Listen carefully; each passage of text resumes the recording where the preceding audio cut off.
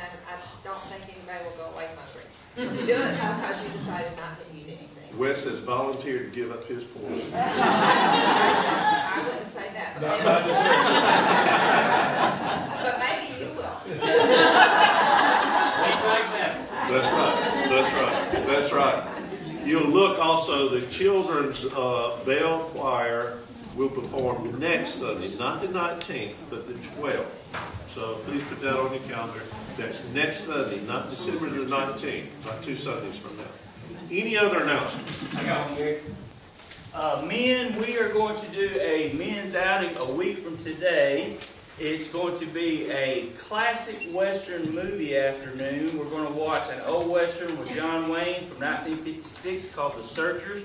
And it's going to be at the Nichols Theater in uh, Frogtown, Georgia. And uh, in Frogtown. where is it? Roger, you want to say anything about the uh, movie day? Uh, I'll have drinks and popcorn and soda or whatever. Right. And uh, if you've never been to Roger's house to watch a movie, it's really cool. He he he got a vision from the Lord years ago to turn his garage into a movie theater. It's wonderful. I just needed to keep him out of the house. I want to thank all the men so far that are supporting the men's group. Thank you so much for really having a good time. Please come next week. Bring a friend if you'd like to. But just let us know if you're going to bring a friend so we can make sure we got plenty of popcorn and everything. Yes, What sir. time is Oh, two o'clock. Two o'clock a week from today. Awesome, awesome. Thank you, Gary. Janice? Uh, this month, of course, we are looking for anybody who wants to sing a Christmas song. Some of you have special songs or whatever. If you would like to do something, please come and talk to me and we'll see how we can work it into our Christmas, our Christmas uh, Juanita, you have, you have an announcement. I know it- it's the second time around, but I have, you bear with me. In case you weren't here uh, last week, uh, December 18th, we have an open house at our house, uh, soup, soup open house. And we'd love for you all to come.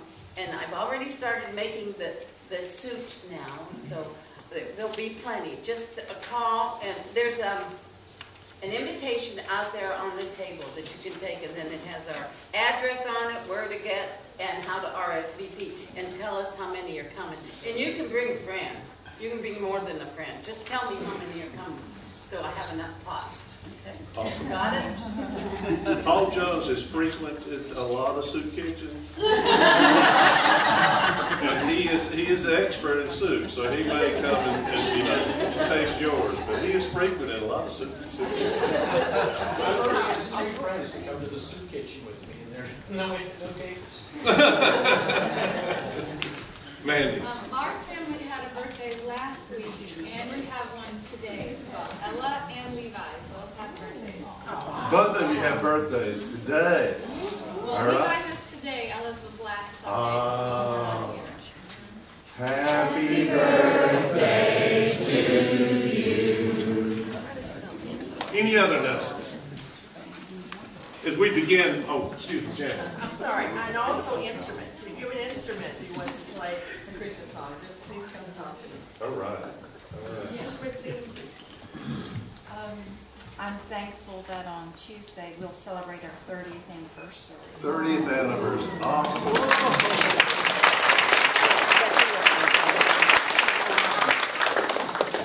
That's great. I was waiting for you to say something, but I could tell you weren't going to.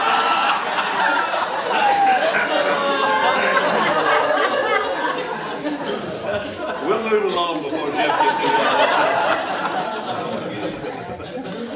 Any other announcements? Um, we found out that our grandchild that's coming in April is gonna be a grandson.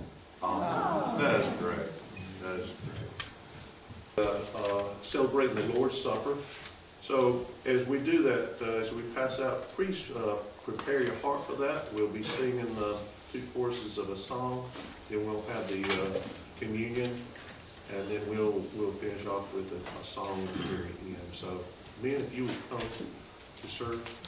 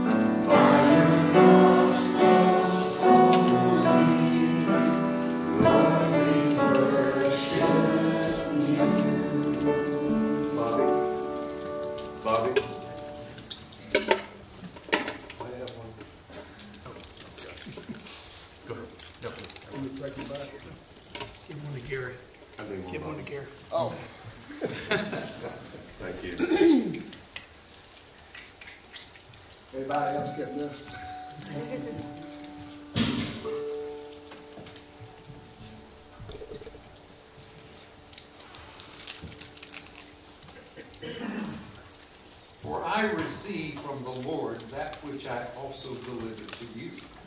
That the Lord Jesus, in the night in which he was betrayed, took bread. And when he had given thanks, he broke it and said, This is my body, which is for you.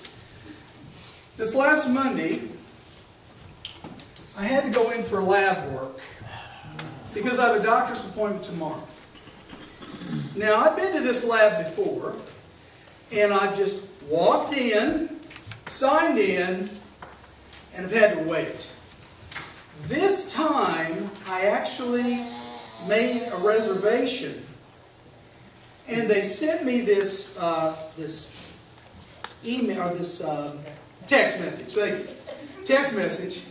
Thank you, young lady. Good to hear from the high school section over here. Anyway, and uh, it was so great because uh, it said arrive 15 minutes early. You can sit in your car. You can, whatever you want to do, just let us know when you arrive, and we will send you a text message to let you know we're ready for you.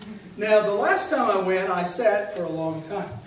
So I thought, okay, this will be good. I'll try this. So I did try it.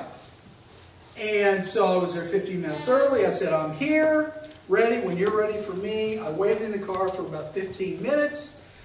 My appointment was at 11.30. I thought, okay, I'll go ahead and walk into the lobby in the medical building and I'll sit out there so I'm even closer. And I did, and sure enough, I got the text.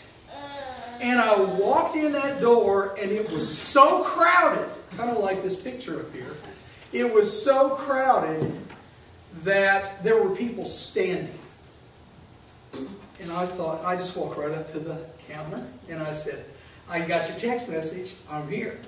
Well, thank you, Mr. Chappell. You can walk right through this door, go to the first room on the left. To which everybody probably thought, who is this guy? Well, I'm the teaching pastor at Bible Church. As a matter of fact, that's who I am. And I just walked right through that door to everybody's surprise because I wasn't waiting like they were. I sat down in this little room waiting for one of the fir- uh, three technicians to come and say, come on back here and we'll uh, poke you. And another lady came in. Oh, and she was hot. She was hot. She'd been waiting for over an hour. So I engaged her in conversation and I said, you know, today, for this appointment, I actually uh, signed up online ahead of time and I only had to wait about 15 minutes. And she said, I'm going to remember that because I got to come back here for routine blood work. And she was glad about that. But all those other people were waiting because they went in and signed in like everybody else and had to wait their turn, whereas I had already planned to do that. That was Monday. On Tuesday, Susan and I went on a date, and we went out to lunch, and then we were going to go, hit a couple stores.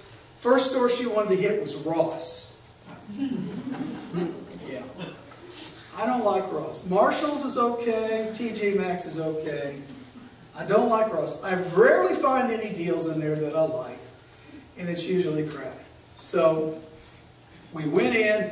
I looked at the checkout lines. They only had three cashiers, and there was a, there was a line already, which I expected. So Susan and I split up. I went one direction, she went another, and we looked around. Nothing grabbed me. Well, I did find a package of, of T-shirts, okay, and which I could have got at Sam's for probably the same price. So, but I put them in my basket, and uh, I met her in the back in the houseware section.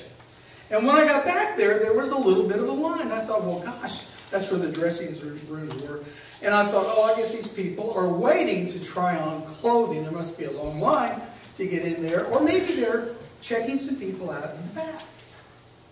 What I didn't realize was that was the end of the line from the front of the store.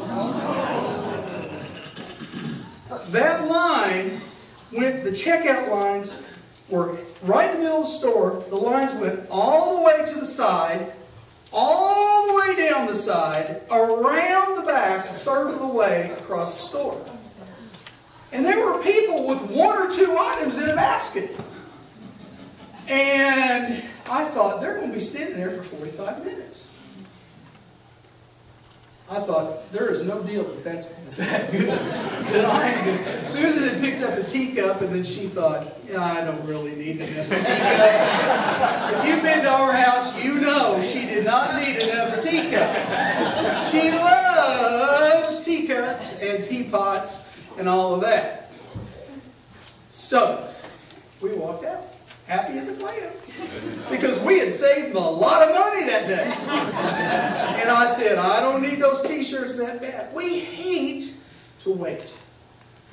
And the thing that we really hate to wait on is justice.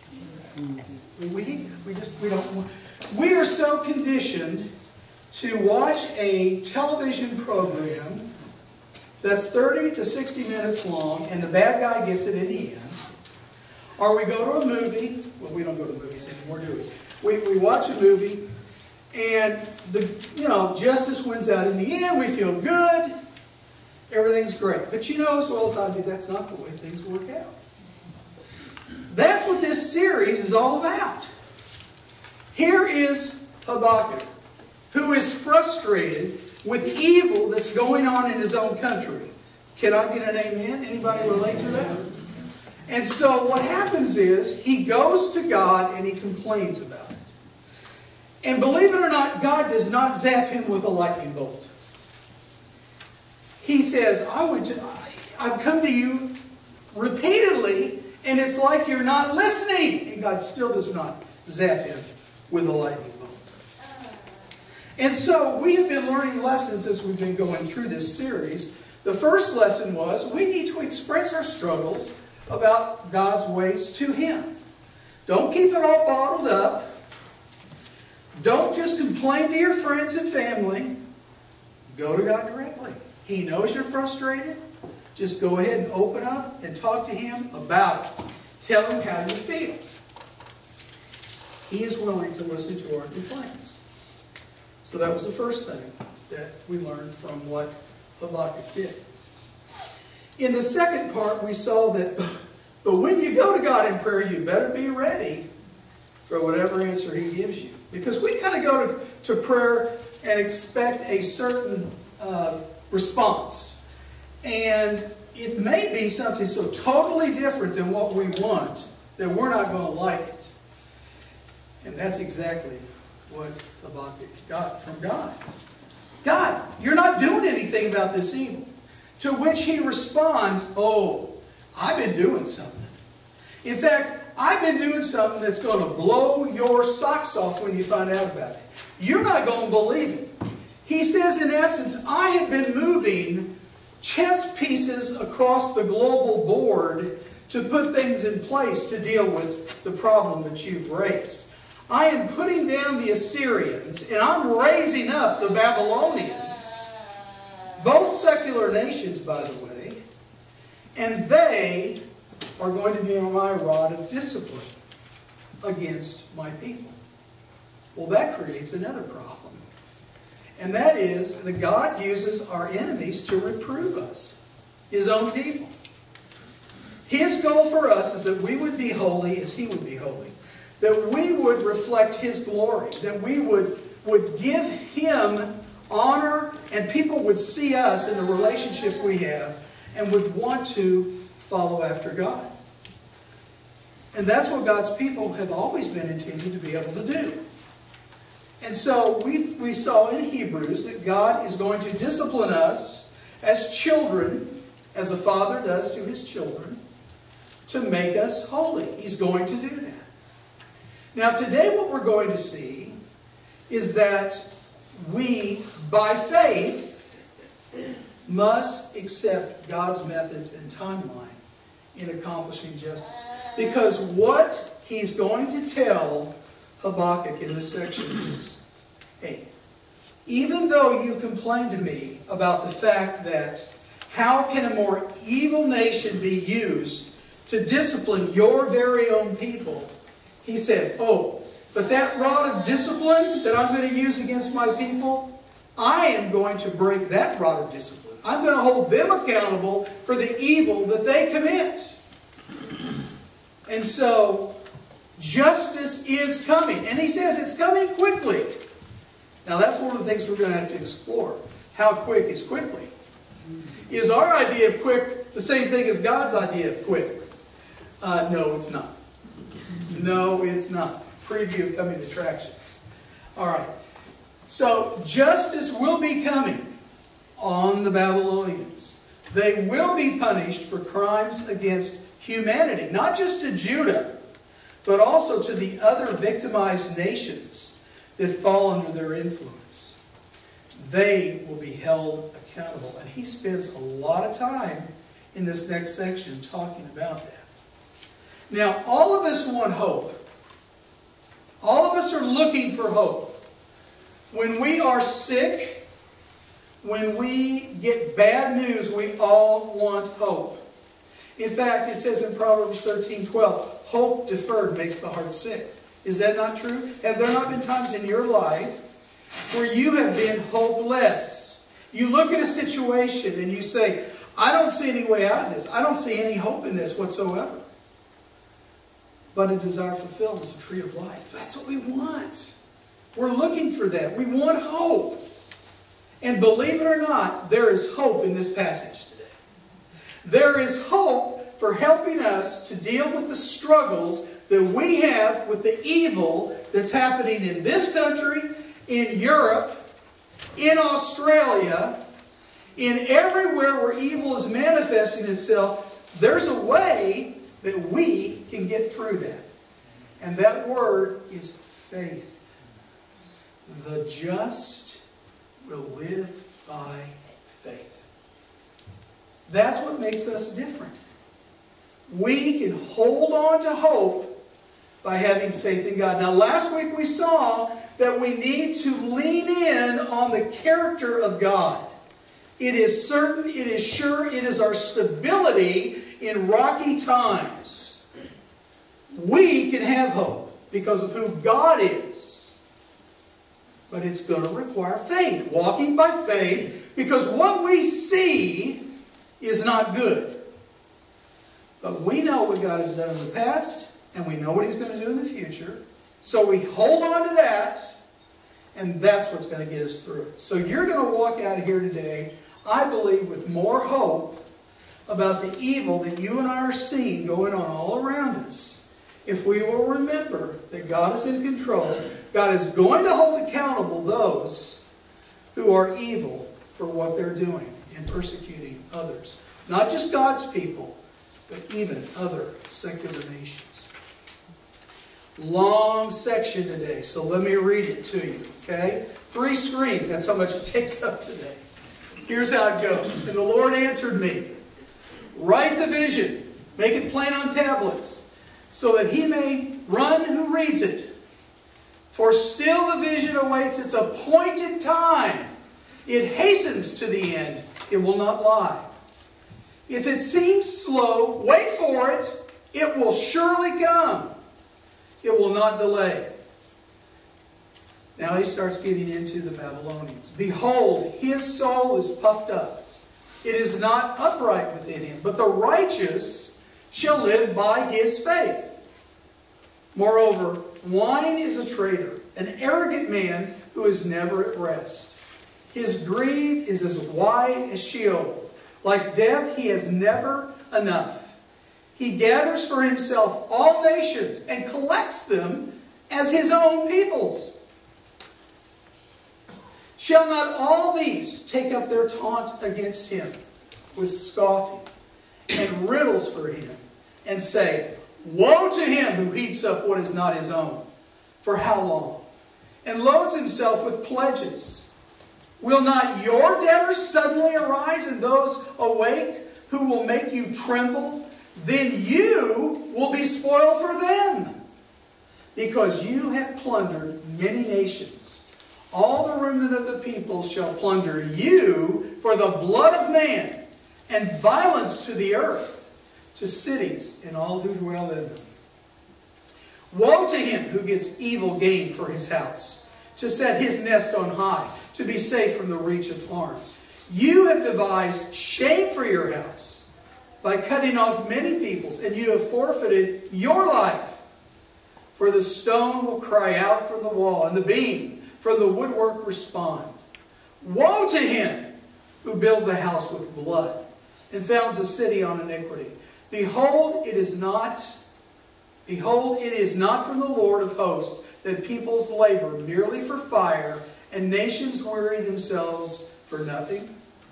For the earth will be filled with the knowledge of the glory of the Lord as the waters cover the sea. Amen. Woe to him who makes his neighbors drink, and you pour out your wrath and make them drunk in order to gaze at their nakedness. You will have your fill of shame instead of glory. Drink yourselves and show your uncircumcision.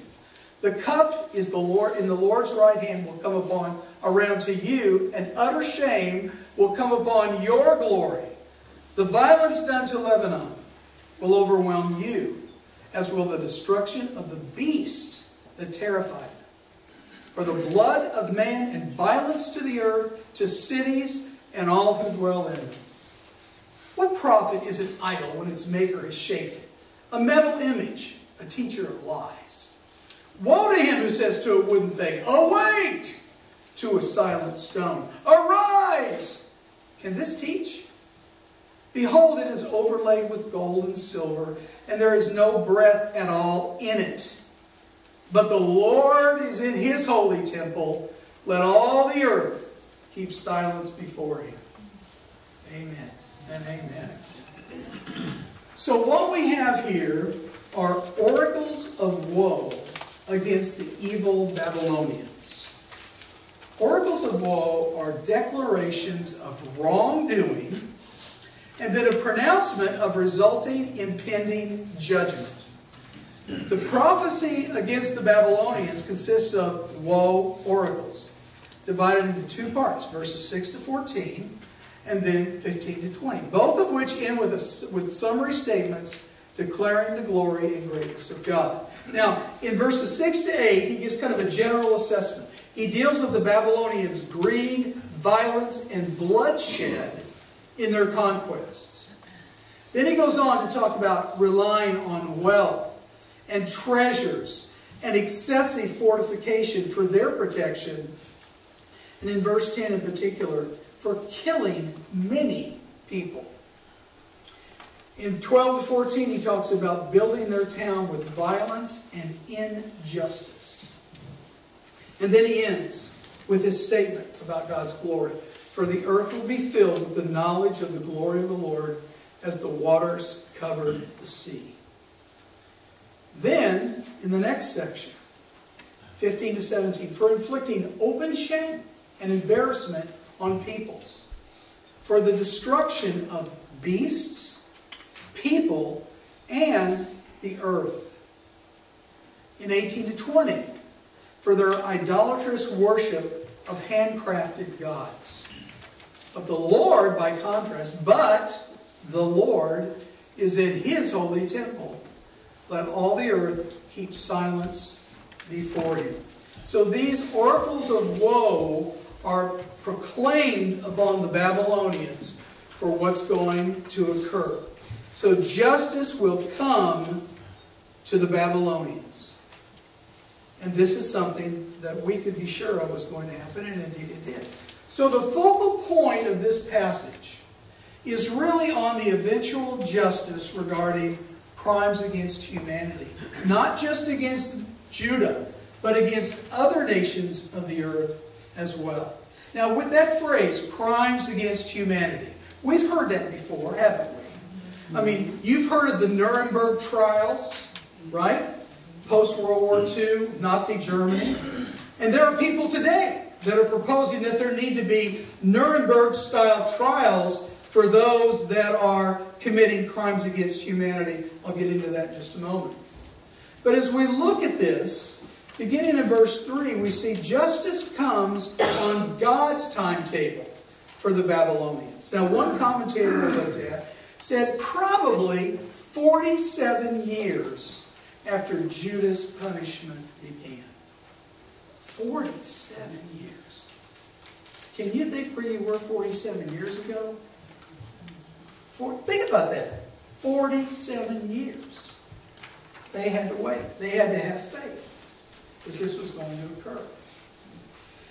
In verses 4 and 5, it will fall on Babylonians, on Babylon for its proud, unrighteous, greedy attacks on all nations who fall prey to them. They are gloating, they're so powerful, they're so mighty, they think they're indestructible. The destruction will come upon them.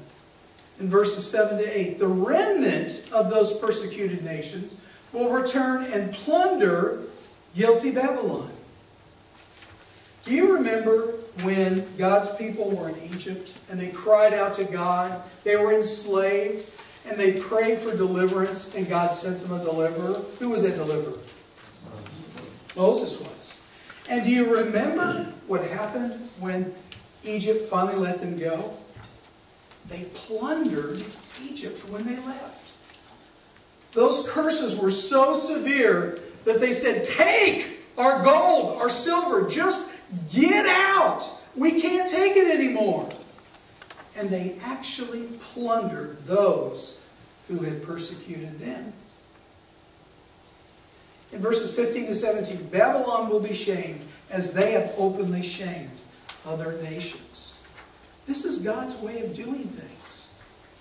It doesn't always happen on our timetable. And that's what we have to keep in mind. That's what we have to accept. We can't change it. We may as well accept it and choose to live by faith. Now, this brings us to some ponder points. The first ponder point is this Will God hold accountable those committing crimes against humanity in modern times? Well, what would lead us to think that He would do any differently in this period of history than what He's done before? You see, here's what we do. We, we look at biblical history, and then we look at modern secular history. And we forget that all history is His story. Whether it's in the pages of Scripture or not, it's all His history. And it is all coming to the conclusion that He has for it. He is going to move those chess pieces on the board to bring His will into completion in His time. He knows exactly what He's doing. He lives, as Rick reminded us last week, God lives outside of time. We are bound by time. God is not. He sees the beginning from the end. And He's bringing history to the conclusion that He has for it. And He's waiting to do what He's going to do in His time. So does our natural secular worldview lead us to doubt that God operates today as he did in biblical history. You say, wait a minute, Andy. Wait a minute. Natural, secular worldview? That doesn't describe me. Oh, really? I would venture to say that most of us have grown up in public schools where we were told this is history. It was taught from a secular viewpoint. God was not a part of that. And we were taught this is history. And we in Western civilizations are very scientific in our approach to everything versus Eastern nations, which are much more uh, spiritual in their perspective. We forget this is a spiritual world we're living in. There are, there are angels and demons and powers and principalities at work. Read the book of Daniel and you'll see examples of that. There is stuff going on behind the curtain that we just don't know about. But we're to keep this in our mind. God is moving history where he's going to move it. And Satan is trying to counter those moves. But he will never win. He will use the evil in people to control certain events. And God allows what he wants to allow to occur. He is sovereign even over Satan's failed strategies. Will they be punished on both sides of eternity? We're talking about Babylon is going to be punished on this side of eternity. We know that the guilty are going to be held accountable in eternity, don't we? We all know that. We accept that. But we're talking about how they're going to be held accountable beforehand. And that's what's taking place. A good example of this is King Nebuchadnezzar of Babylon, may I remind you, who stands out on his veranda and says, Look what I've created. And God says, Oh, big boy. And he even knew that this was coming. He was warned that this was going to happen. Daniel told him because he had because Nebuchadnezzar had a dream and Daniel interpreted. He says this was what's going to happen. And sure enough, it happened. And he lost his sanity. He became like a beast of the field until he looked up, his sanity returned to him, and he proclaimed the God, God is the sovereign ruler of the universe. This is a secular king. He's worked in this man's life. And he gives this wonderful adoration on who God is and on his sovereignty.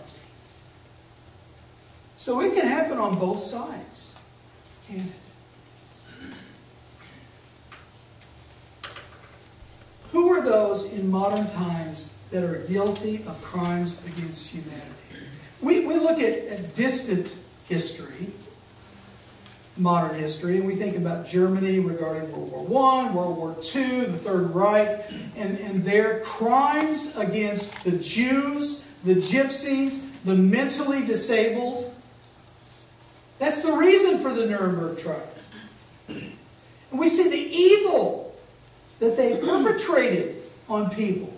It was just out and out evil. And the nations of the world held them accountable for that. When we look at recent history, nations persecuting God's people and other nations, look, look at this. Open Doors is a ministry to the persecuted church around the world. This is Brother Andrew's organization. Let your eyes scan that list a little bit.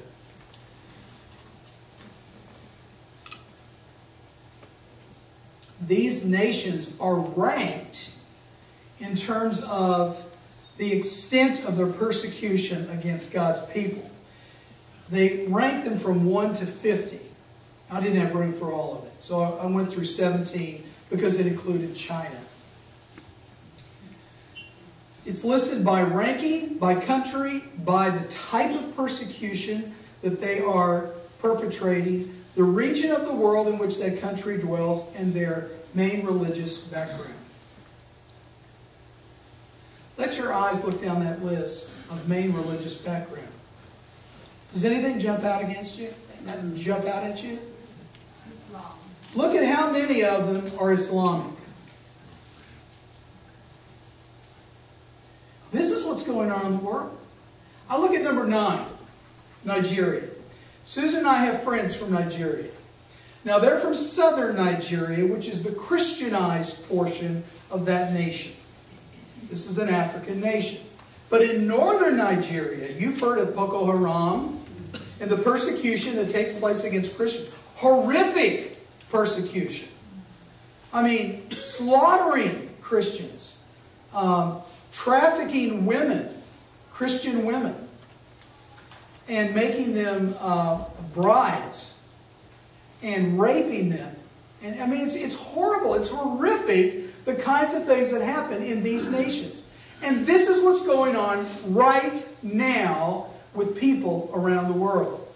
I've given you the link on the handout if you want to go to this site, and you can read very, very specifically about the persecution in these countries.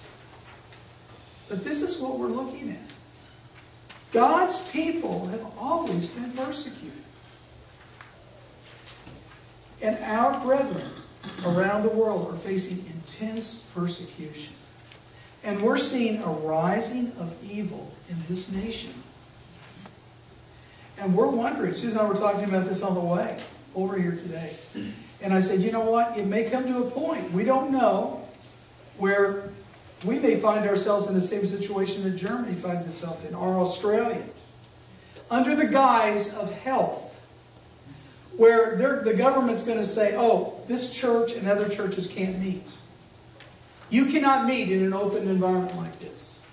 If that happens, what are we going to do? Are we going to be able to meet in micro churches, in homes? What are we going to do to practice our faith? It may come to that. And the pastors that I am developing, we've actually talked about this.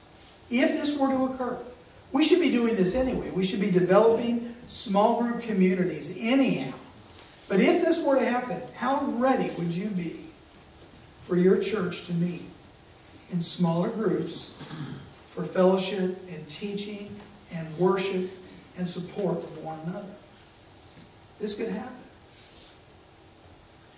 And what about individuals committing crimes against humanity? I mean, names come up that are that are we've been banting about for years. Adolf Hitler, Joseph, Dr. Joseph Mengele, right? And uh, Idi Amin, Pol Pot, with his the persecution of his own Cambodian people in Khmer Rouge. I mean, just evil, evil that is just, it's, it's demonic, it's satanic, evil. It- it's an evil that it, it must be even greater than our own sin nature. These things have gone on. And there are names that pop up today all the time. That that we have heard that we're wondering what's going on right now. What about these individuals? What about the, the George Soros and Klaus Schwab and, and what they're doing with uh, population control and by economic controls? What about Bill Gates and, and what about Anthony Fauci and what's going on with the biological uh, attack that's happening around the world? You know, what, what in the world is going on with, with Jeffrey Epstein and, and Ghislaine Maxwell in human sex trafficking? That trial of, of Ghislaine Maxwell is going on right now. I mean, evil, just evil that's going on. What about, what about the Clintons and what they've gotten away with? I mean, I, I, I'm not trying to make this political, but these are names that come up in the news where we go, how can these people continue to get away with things like this? I want you to know God holds these people accountable. Judgment will come upon those who commit crimes against humanity. It's going to occur. Now, I'm thinking of one particular horrific persecutor of the church. His name was Saul. Remember Saul?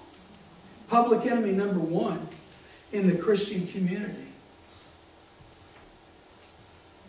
But God, in His grace, reached out, drew him to Himself. Imagine that you had family members who were put to death because of Saul's persecution. And you hear that this guy is now claiming to be a follower of Jesus? Think of the skepticism. How would you like to be Barnabas and introduce him to the body of Christ? oh, that's not the kind of PR job I'd like to have to perform. I mean, can you imagine the skepticism? And, and yet, Paul had a genuine conversion. And I believe Paul felt guilty the rest of his life for what he had done to God's people. I really believe it haunted him. And that's what God did for us. Oh, we weren't war criminals, but we were criminals against God's will. Every one of us. And God reached out in His grace and pulled us in. We didn't deserve it. It wasn't because of any inherent goodness within us that God said, Oh, that's a good enough person. I'm going to reach in and grab them and, and adopt them into my family. Oh, but for the grace of God, that would be our destiny as well. But God spared us.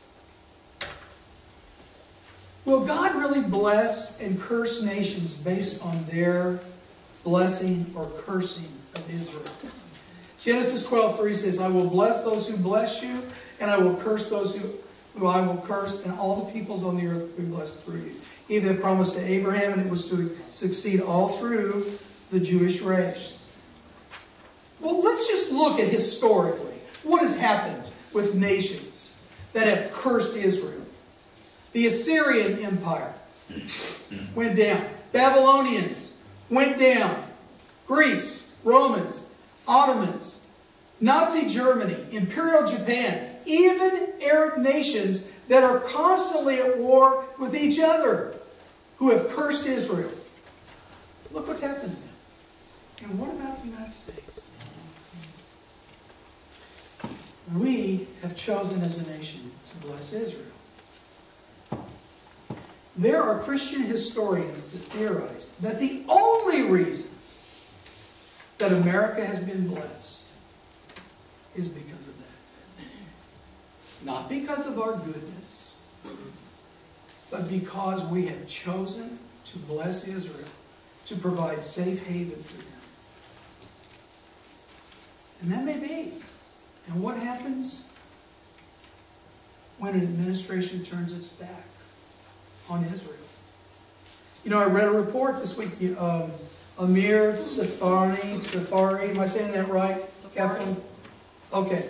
Just saw a video. He's reporting from Israel. He is a, uh, a completed Jew. And he said the Minister of Defense in Israel has just announced we are preparing to go to war with Iran. Ooh! Gee, just a nice little secular affair, right? Is this prophesied in Ezekiel? Oh, yes. And what's going to happen in the rest of the world when that kicks up? Friends, we can be seeing the fulfillment of biblical prophecy happening right before our eyes. And I don't believe the United States is going to come to the aid of Israel. No one's going to come to the aid of Israel except God. And He's going to receive glory. It's unfolding the way God said it was going to unfold. Here's another ponder point. How long must we wait for God's justice to finally fall on the guilty? How long? What is the most accurate measure of swift judgment and punishment? Do you know? I don't. I don't think my measurement standard is accurate because God's view is very different. When He says something swift and it takes 47 years, I wouldn't call that swift. Not me, the guy who doesn't like to stand in line with Ross. oh no, that's not swift. And you know the scripture that says a thousand years in your sight, O Lord, are like a day that has just gone by, or like a watch in the night. God does not measure time the way we do. So what are we left with? We're left with waiting. How do we do that? How do we have hope when our non Christian conservative neighbors become hopeless? Because we trust in God. And we've seen what God has done in the past. We know what His character is, and we know He's trustworthy. And so we choose, as an act of our will, to trust in Him, to have faith in Him. The just shall live by faith. That's the lesson we have to, we have to hold on to. So, as you and I personally struggle with the justice of God, remember, He will punish all people and nations, mistreating other people and nations who are guilty of crimes against humanity. As we personally struggle with the justice of God, distinguish yourself as righteous as you walk by your faith in Him as you and I personally struggle with the justice of God, bear in mind that God's timing allowed us the opportunity to turn from our own sin and place our trust in Him. Remember that justice will come in the time He knows perfectly well should occur.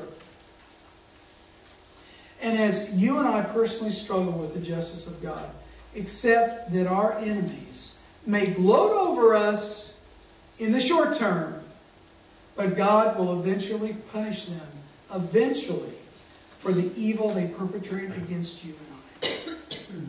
It's going to occur.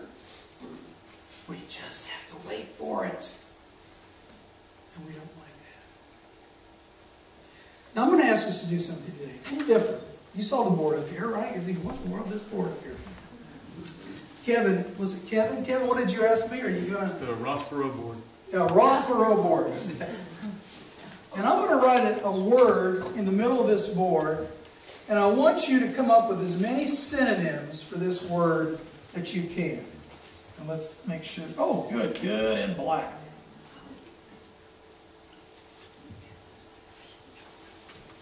I hope that even shows up on the camera over there. The word is trust. Someone give me a synonym for trust. Rely. Rely.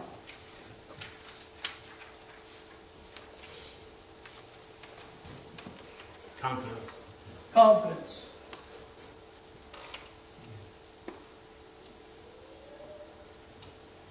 Rest. Rest. Did somebody say rest? Okay.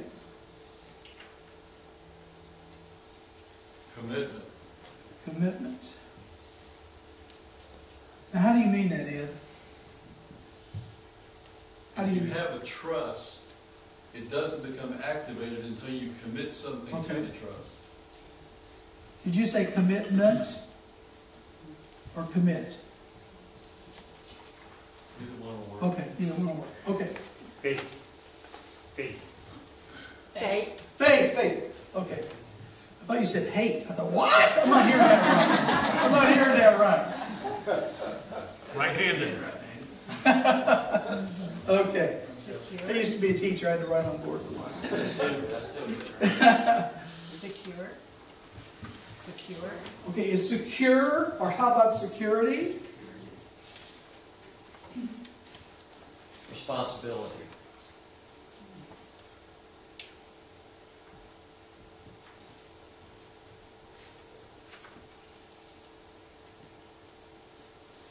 We're on that board on that one. You think of the others? How about dependence? Hope. Hope?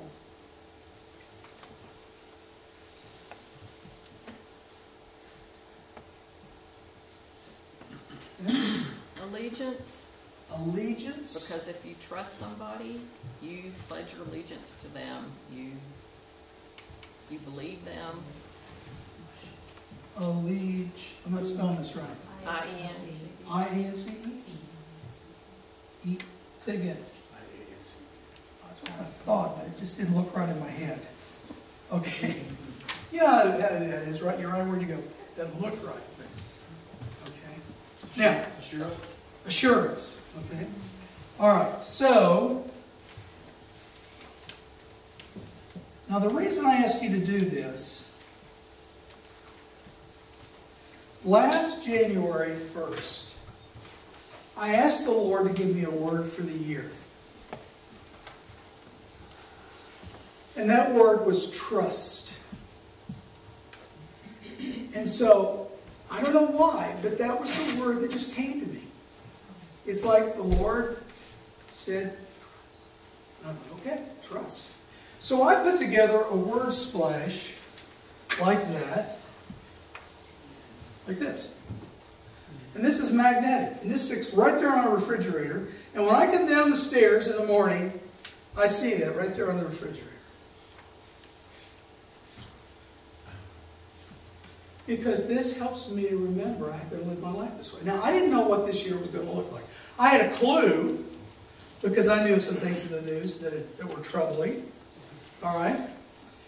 But I had no idea what was going to happen to my health. I had no idea what was going to happen in our family. I didn't know about Susan's eye problems that she's experienced. But God did. And this is the word He gave me. And when we think of these synonyms, synonyms have a way of helping you to kind of look at something from different perspectives. This is what we need to do as we are struggling with what we see going on around us that's evil. We have to choose to trust in the Lord, that He is sovereign, that He's in control, that He is shaping history and bringing it to the conclusion that He has for it. And that's hard. That means we cannot always walk by sight. We have to choose, as an act of our will, to walk by faith. And that's not easy.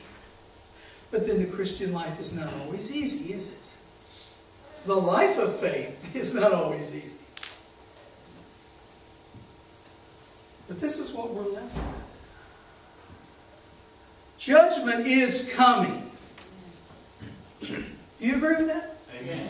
It's coming. We don't know when it's coming, but it's coming. And we don't know how it's going to come. We don't have a prophet today who said, I'm speaking on behalf of the Lord. We have those who say they're doing that, but I don't believe that a lot of what we see going on is really legit.